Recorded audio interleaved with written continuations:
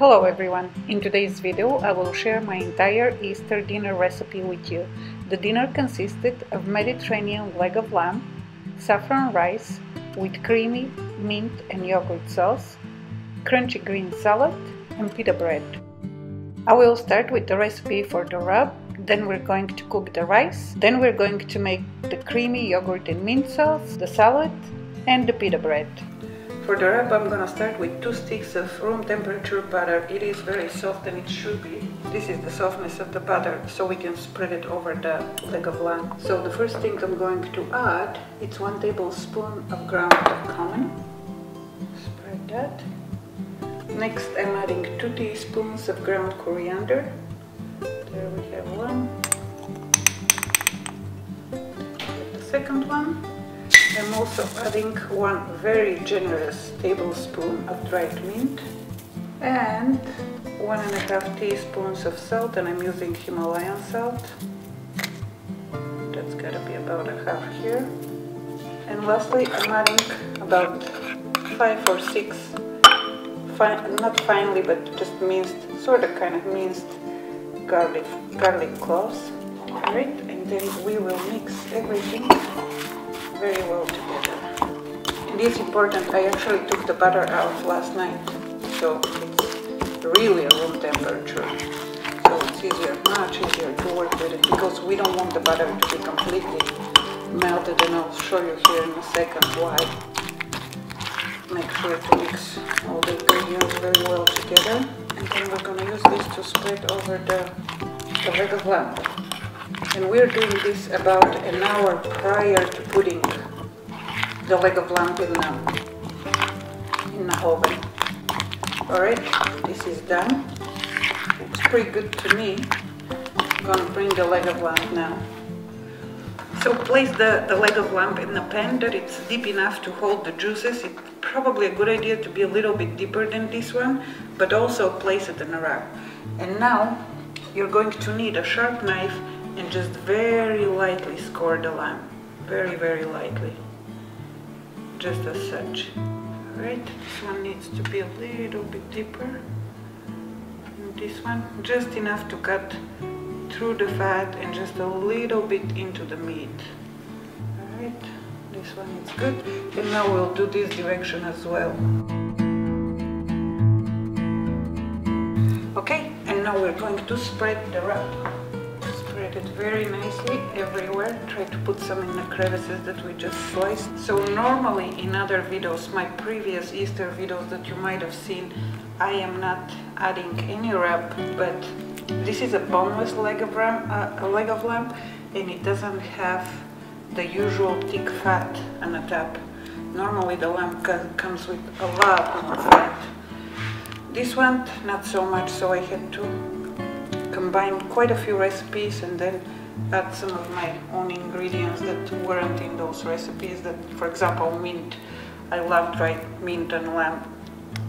But I don't like rosemary and I don't like cinnamon. And what was the other one? Ginger. I don't like that on my lamb either. So I took a few recipes left what I like removed what I don't like and then added the stuff that I like. So I'm just gonna keep working and spreading it evenly, although that's, that's pretty good. And now that it's all spread, I'm gonna let it sit in the refrigerator for about half an hour just so the butter gets hard again over the, over the lamb. And I'll be right back. I am now just about at the end of the half an hour that I'm leaving the leg of lamb in the refrigerator so I'm gonna start with the rice and I'm gonna rinse it really really well. The better you rinse the rice the more fluffier it will be.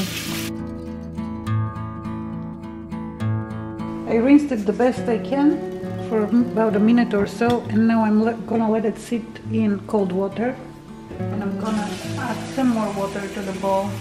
Alright that's perfect. And now I'm gonna let it sit here for 30 minutes.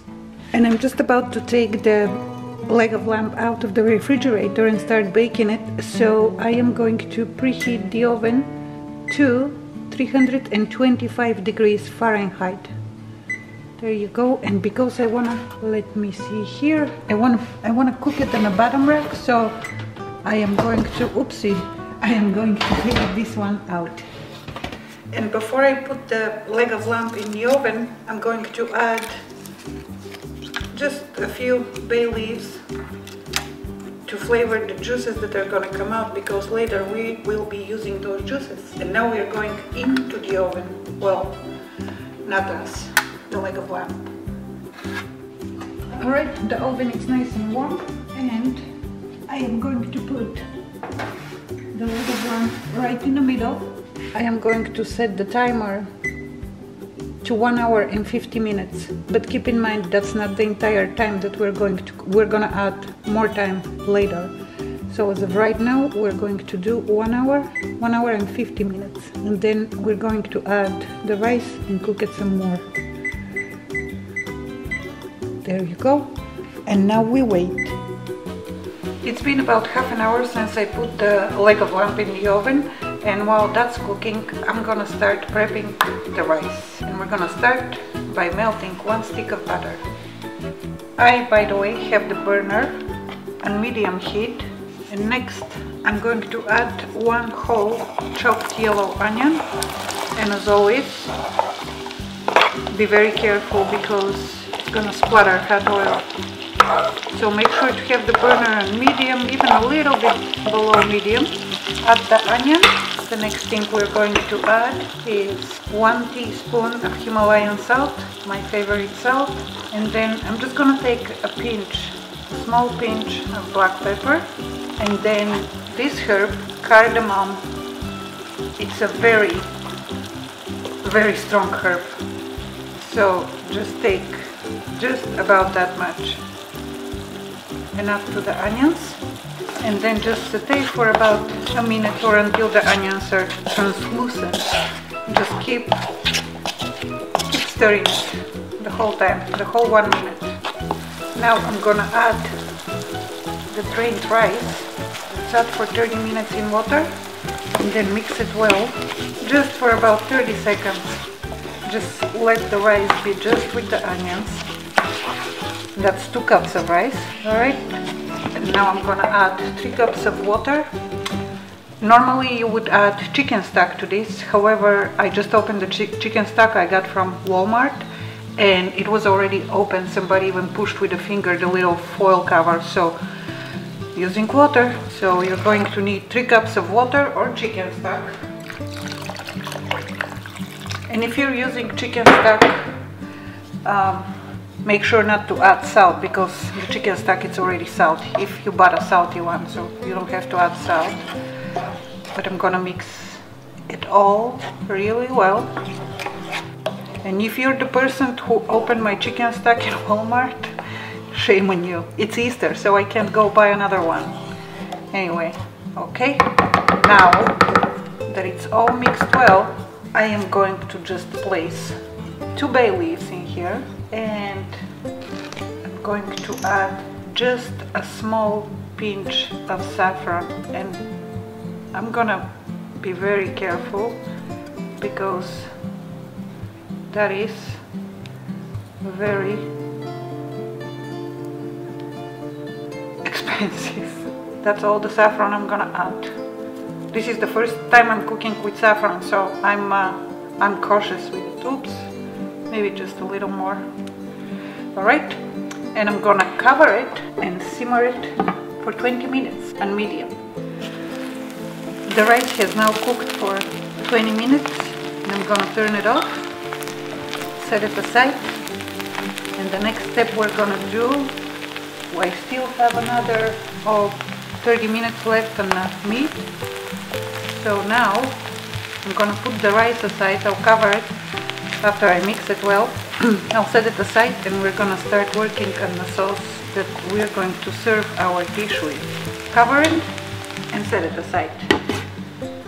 Now that we're done with the rice and we're just waiting on the meat to finish cooking, we're gonna work on the sauce and this is the serving sauce for when everything is done to garnish the dish with. And I'm gonna start with one cup of yogurt. You're going to need two, but we're starting with one. Actually, first I'm going to add the mint. Over here I have just about a handful of dried, of uh, fresh mint, I'm sorry. Alright, the next thing I'm adding it's the garlic. I have three cloves of garlic here.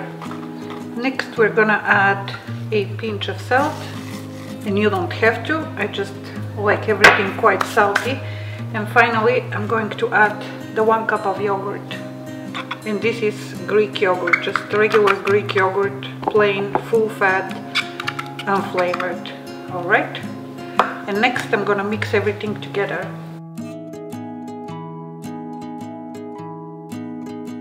And this is what the mixture looks like.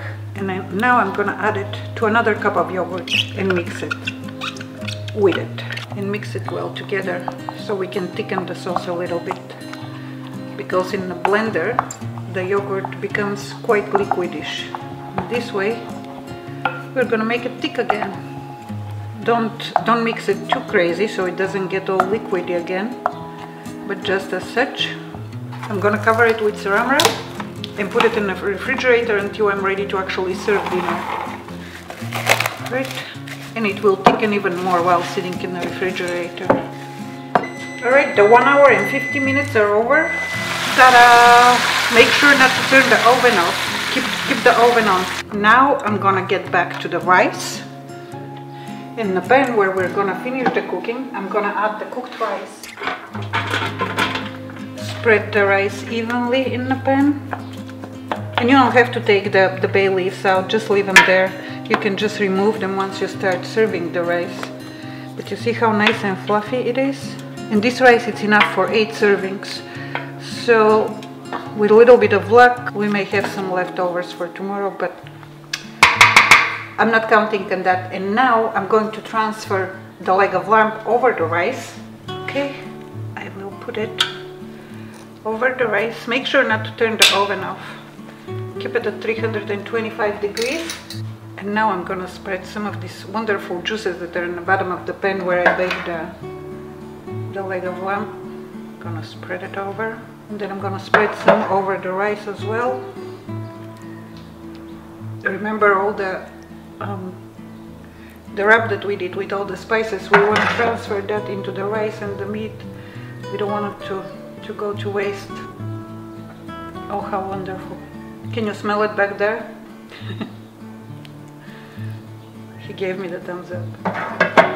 Alright, the pan it's not as hot anymore. I'll just grab the pan and pour the rest of the juices or the drippings over the rice and the meat. Okay, we're good. Now for this last step, you're actually gonna have to cover it either with a lid or aluminum foil and I have a lid Alright, found the lid and make sure if your lid, uh, if you're not using uh, foil but your own lid, if it has an opening like this, make sure that it's closed. And now I'm gonna put it in the oven for another 30 minutes. And after the 30 minutes covered are over, you're gonna have to, have to uncover the lamb and cook it uncovered, just as such, for another 30 minutes to reach the desired temperature. And for the spring green salad, you will need 2 heads of crunchy lettuce, 3 cucumbers, 4 or 5 scallions, 4 or 5 radishes, a small bunch of dill, olive oil, and vinegar. And for the salad, just chop the lettuce any way you like it. I happen to like it kind of sort of finely chopped. Next up the chopped cucumber. Chop it any way you like it. And finally the chopped dill, radishes and scallions. Add everything together carefully. My bowl is a little too small, but I don't have a bigger one. So that will have to do. Alright, we have it all. And now I'm gonna sprinkle olive oil. This is probably good, two tablespoons of olive oil. It's a big salad And then a generous pinch of Himalayan salt, even two, and then some balsamic vinegar. This is the one I use, the one I have currently, so I'm using this one. I'm just gonna cover the opening with my fingers and start sprinkling over the salad and make the salad just before you serve dinner and mix it very nicely together. And this is a very traditional Bulgarian spring salad. These are all things that you get in mid-spring. When you start gardening these are some of the first things to come out. I don't know about the cucumbers. Maybe if they're in hot houses. But this is the best salad that goes with lamb it's absolutely fresh and crunchy everybody in Bulgaria makes this salad. I think I hope they still make it. They make it in Bulgaria we make it with regular vinegar just apple cider regular apple, apple cider vinegar. But here in America I discovered the balsamic vinegar and I absolutely love it. And you just mix it all together and then dish up for everybody. It's easier this way to make the whole thing. Make sure to mix it well so all the salt and the vinegar and the oil uh, cover everything evenly. But for lamb that is your to-go salad. Alright guys it's done. Look at that beauty. I took the thermometer out. It is at 150 degrees and it's gonna continue to cook for a little bit for medium.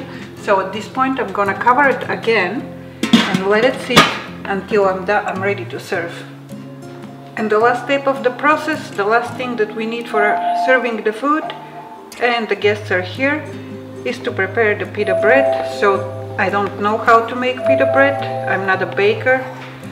And what I'm going to do is just I bought this one from Sprouts and I'm gonna slice it into quarters. Just as such all right.